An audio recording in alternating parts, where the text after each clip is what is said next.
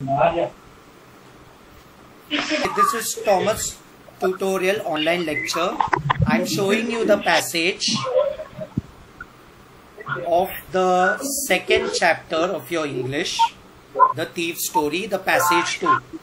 Now in this, the first question is write whether the following statements are true or false. In the beginning, Anil taught Hari to cook and write his name.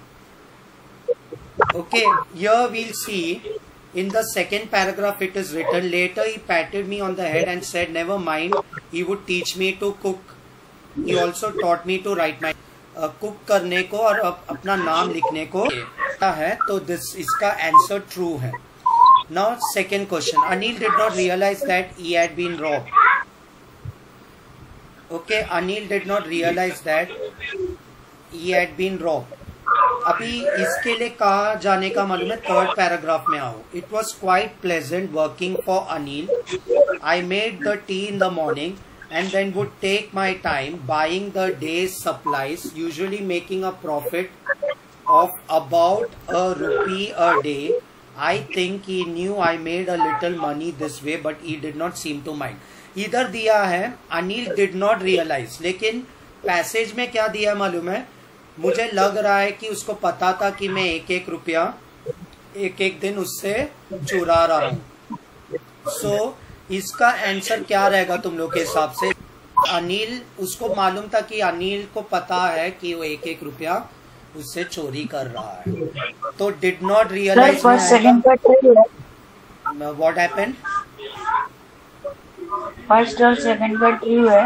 नहीं first का true है second का false. है and third Hari like working for Anil Hari like working for Anil third paragraph के first line देखो। It was quite pleasant working for Anil एक quite pleasant working for Anil का मतलब क्या है कि हरी पसंद करता था अनिल के लिए काम करने। क्वाइट प्लेजेंट का मतलब यही है। Pleasant means happy he was happy working for Anil तो ये थर्ड का ट्रू है। ये थर्ड का ट्रू है। अभी फोर्थ में आएँगे हम। Anil bought the day's supply and gave them to Hari अभी हम लोग थर्ड पैराग्राफ पढ़ेंगे तो हमको पता चलेगा, अनिल ने जाता था खरीदने, हरी जाता था खरीदने और एक एक रुपया उससे चुराता था वो। जो कुछ पैसा उसको मिलता था मार्केट से सामान खरीदने का, उससे एक एक रुपया वो चुराता था।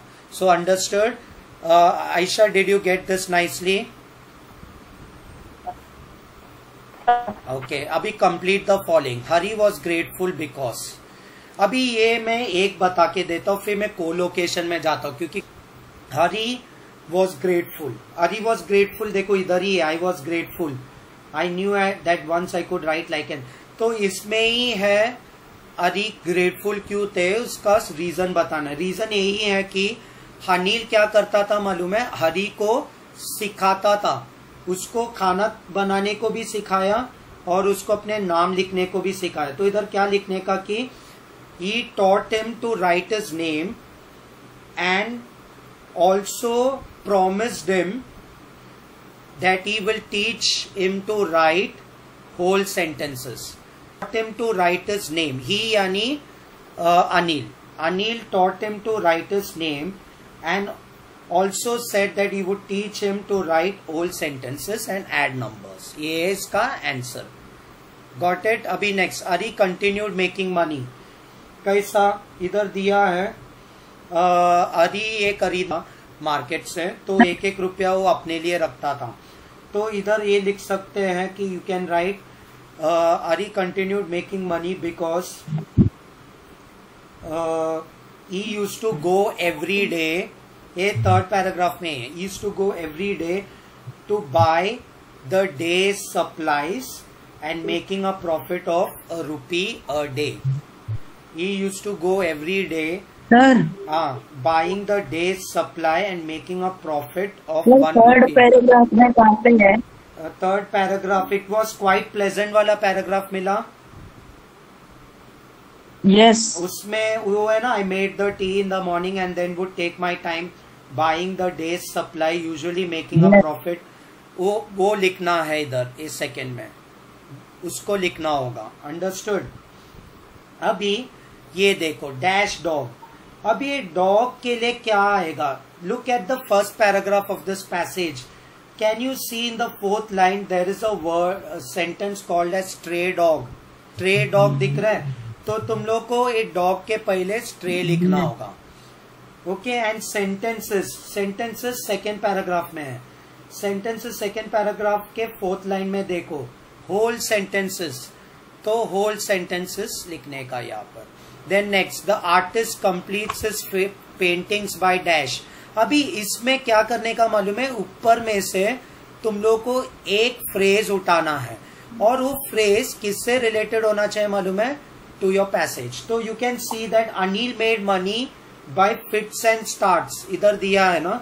वो वाला फ्रेज तुम लोग को यूज़ करना पड़ेगा इधर. तो the artist completes his paintings by fits and starts understood then pick out the verbs Anil gave it तुम लोग को मालूम है वर्ब क्या है? Verb is the action word okay तो गेव है वर्ब और इधर रोट है verb understood so this and और दूसरी बात देखो ये अनिल्स वर्च्यूज जो है ना अनिल्स वर्च्यू वर्च्यूज का मतलब क्या? फ़र्स्ट पैसेज के सेकेंड पैराग्राफ में लिखा है he about twenty five a tall lean fellow and he look easy going kind and simple enough for my purpose okay are you getting he look easy going kind and simple enough for my purpose easy going kind, simple, ये है virtues Anil का. Understood is this clear to did you understand Ayesha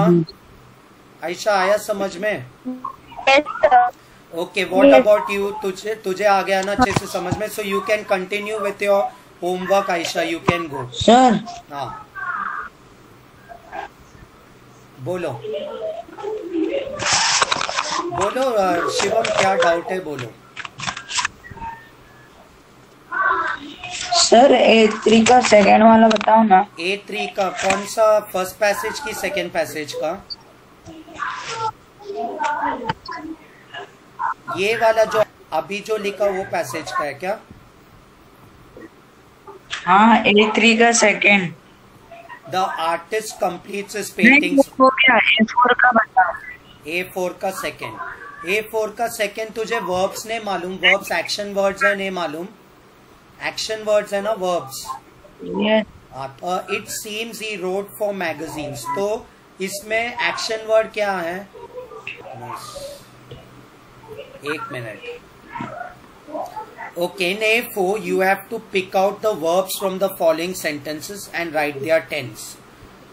Okay, verbs find out करो. First question में देखो Anil gave it to a stray dog and told me to be off.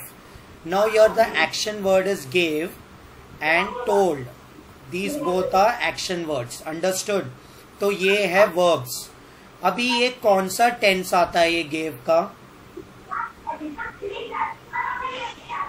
ये gave कौन से tense में है present tense है past tense है कि फ्यूचर टेंस है बता सकते हो sir present tense no gave is past tense of give give का पास्ट टेंस है गिव एंड टोल्ड टोल्ड कौन से टेंस है? प्रेजेंट की past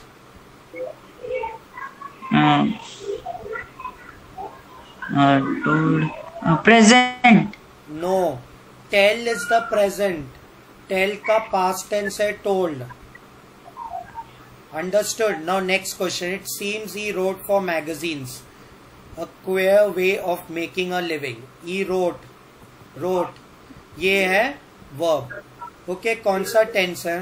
रोट सर ये पास्ट यस ये पास्ट टेंस है. तो आ गया समझ में कैसा करने का? यस हाँ, और कुछ है डाउट जल्दी पूछो. और सर वो